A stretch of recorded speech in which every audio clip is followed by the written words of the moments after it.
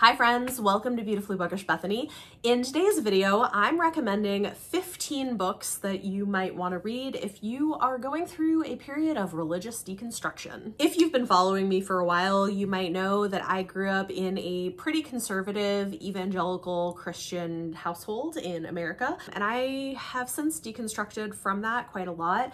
And along the way, I have read a lot of incredible books that have really helped me process a lot of things that I've gone through, process what I'm thinking now, and I thought that maybe this video would be helpful for some of you who are in a similar position or have come from similar backgrounds. The majority of the books on this list are primarily about Protestant Christianity. However, there are also some dealing with Catholicism. There's one about Rastafarianism. Generally, these are books that I've read about religious fundamentalism that I have found helpful and that I've really loved. They may not all be for everybody, but perhaps perhaps they will help someone out there. And I haven't done a video about deconstruction in a minute and I had been thinking about it because of something that I had been working on. So we're gonna start with some nonfiction titles and then we will move into fiction. I have a few YA books and then adult books in a variety of genres. So let's start with our nonfiction. Editing Bethany here, and yes, I do have a new haircut since I filmed this video, but a couple of things to note. One is please don't mind my haunted ring light. It, it you will see it throughout this video. It likes to act up sometimes, so you know, tis the season, just go with it. And then the other thing is, don't forget, if you are in America, go vote November 5th. Your vote is really important. And also don't forget that there are a lot of really important local elections, ballot initiatives. If you're in New York City, the first of those is one that would protect things like reproductive rights. So if those are things you care about, if you live in the United States, please make sure you go out and vote. I'm going to encourage you to do that. I also realized as I was watching this that there are a couple of nonfiction titles that I failed to include that I think maybe should be on this list. So I'm going to throw in a couple more now after the fact.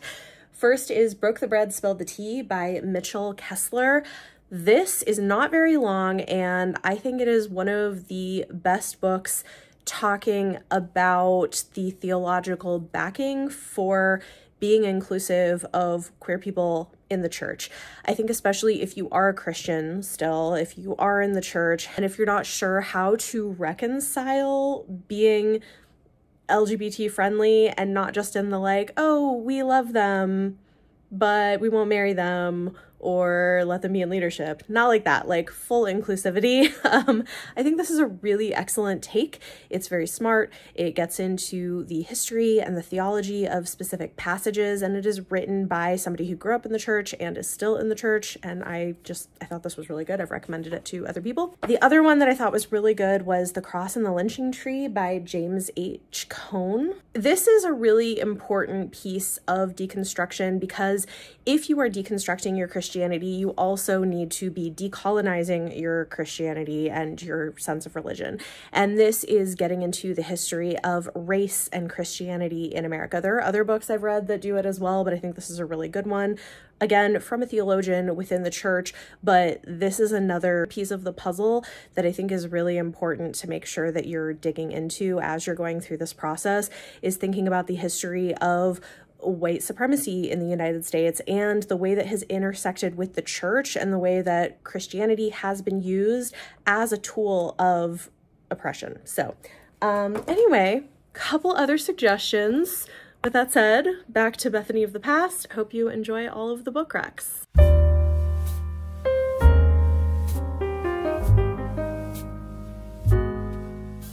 If you are early in this process, the book that I would recommend the most is The Making of Biblical Womanhood How the Subjugation of Women Became Gospel Truth by Beth Alison Barr. This is a really fantastic book written by a woman who is a scholar of historical Christianity, of church history, who is still in the church. She's been part of the Baptist church and she is still a Christian. She is still fairly conservative in some of her views, more so than I am, but I think that she's got a lot of really fascinating things to say in here. It's time for Christian patriarchy to end. Historian Beth Alison Barr shows that biblical womanhood isn't biblical, but arose from a series of clearly defined definable historical moments. She presents a better way forward for the contemporary church. So, again, if you're still in the church, I think that this is a really good resource and a good book to pick up if you're questioning some of these things about gender roles, I thought this was great. Then for a book that goes a step farther, but again is also written by somebody who is an academic and is still in the church, I would suggest Jesus and John Wayne, How White Evangelicals Corrupted a Faith and Fractured a Nation by Kristin Kobes Du Mez. This book is amazing. It, I feel like I like tabbed the hell out of it.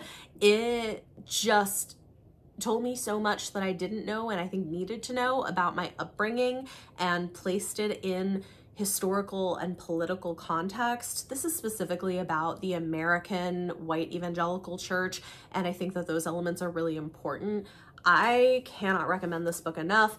And also, she recently put out a documentary that is amazing too. And it's not very long, it's only about 30 minutes long. I'll link it in the video description down below if you want to go check it out. But it's following several women who experienced abuse in church at the hands of leaders and then tying it back into some of these ideas. So I think it's really good. Highly recommend this. It's incredible. On a related note is hashtag ChurchToo, how purity culture upholds abuse and how to find healing by Emily Joy Allison.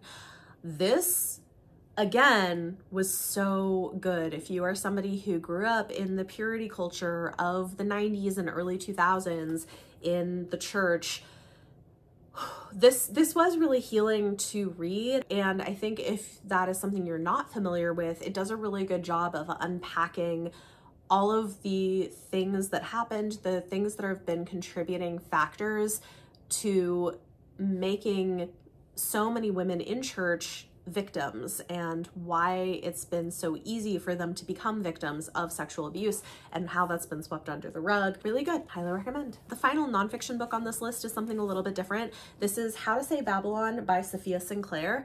It is a memoir of the author's experience growing up in a very conservative, heavily patriarchal Rastafarian family in Jamaica and what she went through and how she eventually escaped from that situation and the complexity of what it's like to have had parents who loved you in some ways but were also abusive to you growing up. So it's a hard read at times but a really important one and another one that I think gives interesting context to fundamentalist religion and specifically things I didn't know about the history of the Rastafari movement and where it originated. Moving on to fiction, let's start with YA.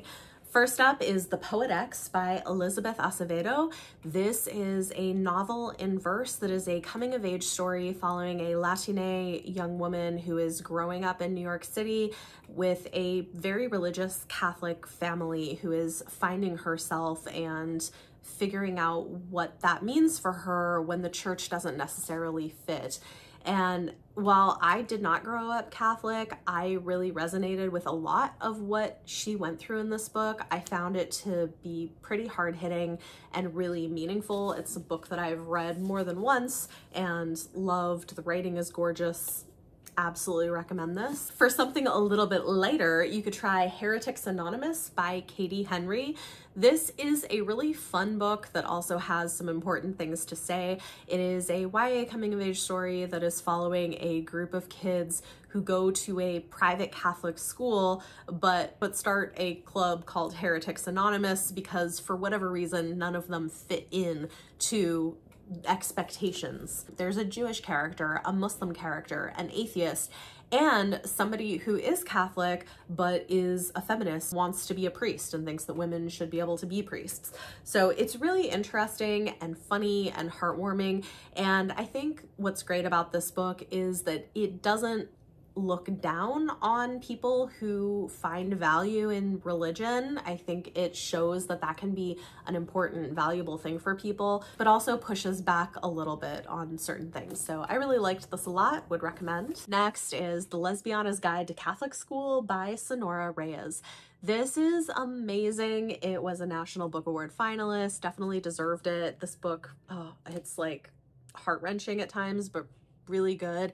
It follows a young woman who is living, I think in Texas, goes to a private Catholic school and is secretly a lesbian, but hasn't come out to her family because it's not safe for her to do so. And she's got a crush on a girl and maybe will get her first girlfriend and has to figure out what what to do when it doesn't seem like it might be safe as a teenager to come out because that is still the case unfortunately for a lot of people even though it may not be for everybody it is the truth for some people. So really excellent. It has a hopeful ending even though it's pretty harrowing at times. It's really good. Final YA book is much more intense. It is horror and it does not pull its punches. This is Hell Followed With Us by Andrew Joseph White.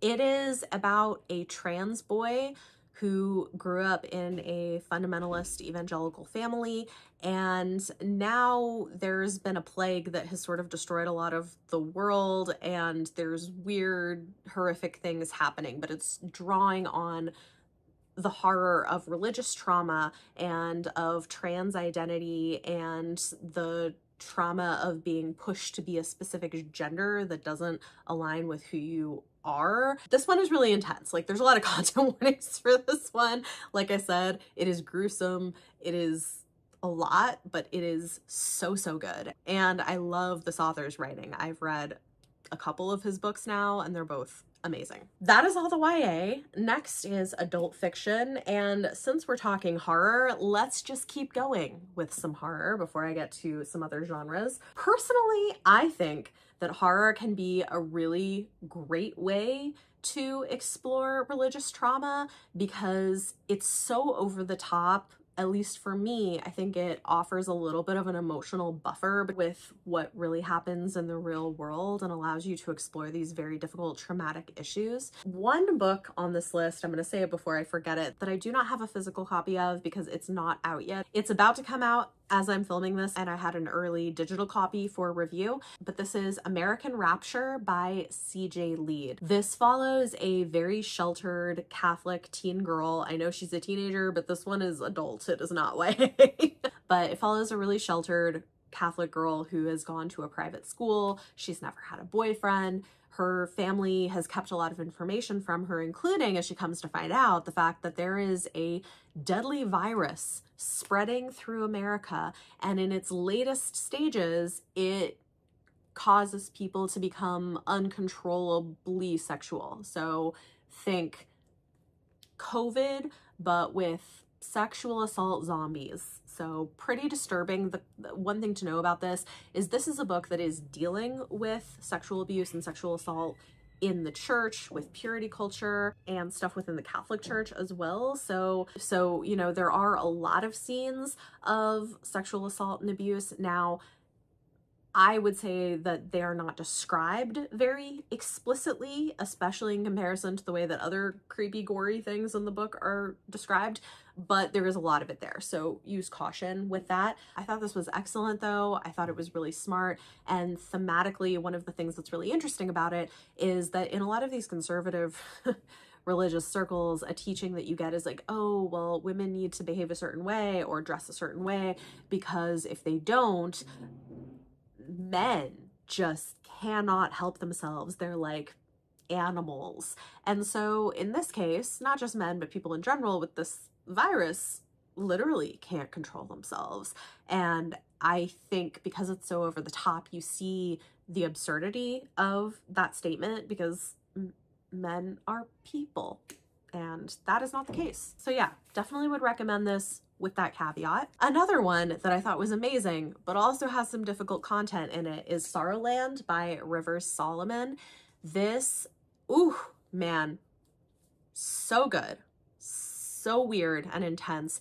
It is a horror novel about a pregnant teen girl who is escaping a cult where she was impregnated with twins. She gives birth to them in the woods and is trying to survive in the woods with them but is transforming into something strange. So it is got it's got these weird fantastical elements to it, but it is dealing with religious trauma and abuse and motherhood and and queerness and gender fluidity and there's a lot of really interesting things. River Solomon is an incredible writer and this is one of my favorite books from them, so do recommend. But again, use caution, it's intense at times. Next, if you guessed this was on the list, you were right. This is Camp Damascus by Chuck Tingle. I freaking loved this book. One of my favorite books of last year.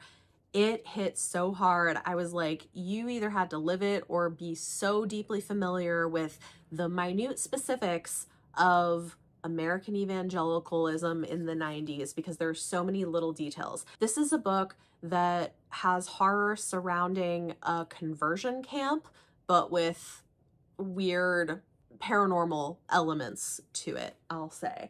And it nailed so many things. And it is another book that is hopeful ultimately, but it goes through a lot to get there. It's not very long, it's a quick read, and I cannot say enough good things about it. So good. The last horror type book that I have is kind of a blend of fantasy, mythology, and horror, and it is a short story collection. This is The Merry Spinster Tales of Everyday Horror by Daniel M. Lavery. The author is trans, and this did not go over well with all readers, but I think because it's pretty niche, there is so much evangelical Christian stuff sprinkled through these stories and it is about religious trauma. It is about abuse. It's about gender identity, and it draws on fairy tales and folk tales as a way of exploring those things. And I loved it. Loved it. Highly recommend if you are going through deconstruction. I think this is a really good option. We have one book that is sci-fi slash dystopian that is an excellent duology that I recommend. The first book being Parable of the Sower by Octavia E. Butler man, this feels prophetic. It came out, no joke, this book came out in 1993, and the way it feels like prophetic of what we are seeing in 2024, it's a lot. And it's set like around now too, which is wild. It's set in a dystopian future where the world is kind of ending. Our main character is the daughter of a pastor who ends up going on to form her own religious group.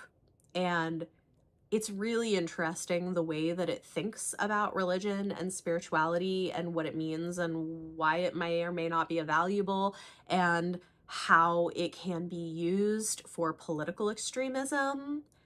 There is a character in this series who is a religious and political extremist trying to become president whose tagline is literally make America great again. It's like it's it's wild. The first time I read that I was like, "What?" So, if you haven't read these, highly recommend Octavia Butler is a queen. Amazing. Next is Sistersong by Lucy Holland. This is a gorgeous historical fantasy about a group of siblings who are living in kind of an Asian version of Britain when Christianity is starting to spread. And I'll tell you that the priest in this book is kind of the villain. He wants women to be in more set gender roles and doesn't want them going outside of that. He wants them to stop doing their traditional sort of spiritual religious practices with the land. But in this case, there is real magic in the land. And one of the siblings is trans and his journey made me cry. This book is gorgeous. It will make you sob, but it is so good and I loved it. And I think it's really interesting if you're thinking about like where did different kinds of spirituality originate? What did Christianity displace in certain places? I, I think it's interesting. Lastly, we have the first book in a very beloved fantasy trilogy that is doing something pretty similar actually to Sistersong in a different place and time, and that is The Bear and the Nightingale by Katherine Arden. So this is set in a fantastical version of Eastern Europe, think like Russia, around the time that again Christianity is starting to spread. And there is this battle between Christianity and traditional folk religions and the magic that comes with those things. And this is a coming of age story of a young woman who grows up and is fighting against the system that she is expected to submit to this patriarchal system where she will marry young and have babies, and that is not what she wants. I love this entire series. It's gorgeously written, it's lyrical, it's incredible fantasy, but at its heart, it's also, again, grappling with some of these religious complications, and I think it's helpful. Another one that I think is good early on, I read this earlier, I would say, than some of the other ones, and it was really good. So some of these are a little more intense than others. There's a variety of genres and age categories. There's nonfiction. Hopefully you found something interesting that you'd like to pick up.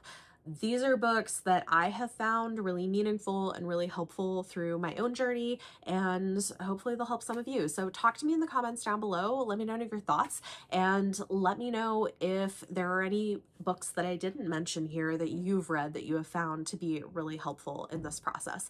If you like this video, it always helps if you give it a thumbs up, subscribe if you want to see more. Thank you so much for watching, and I'll see you next time.